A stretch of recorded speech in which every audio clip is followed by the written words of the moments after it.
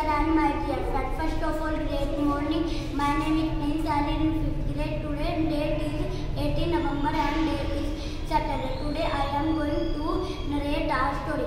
Once upon a time there was a man who had a ghost that laid a golden egg every day. He used to sell this egg and get a little money. One day he thought to himself if he cut the ghost he would